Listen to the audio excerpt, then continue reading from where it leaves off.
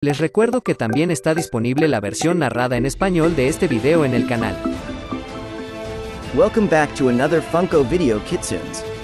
Today I bring you another amazing video of our passion for Funko Pops collecting and popular culture. This time we will see the Spider-Woman Funko Pop from the animated movie Spider-Man Through the Spider-Verse. Spider-Woman, whose identity is Jessica Drew, was poisoned by radiation at an early age for which she was injected with a mysterious spider serum and thus received a genetic accelerator for years.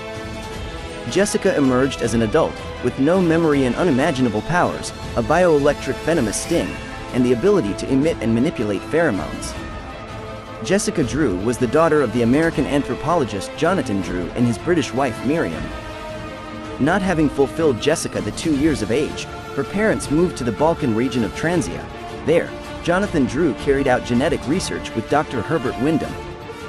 At 14, Jessica contracted uranium poisoning from her father's job, but her life was saved by a spider-derived serum and years of hibernation in a genetic accelerator, where she received subliminal education via special tapes. Due to her mutation, Spider-Woman possesses many of the powers related to spiders, such as a considerable level of strength and the ability to climb walls. In addition, it can generate bioelectric discharges known as poison rays. Spider-Woman can also generate a kind of aura of terror as a result of exuding pheromones, in the same way that she also makes some men feel attracted to her. This Funko Pop has the number 1228 and was released in the year 2023. So tell me, did you like this Funko Pop? Did you already know this amazing character?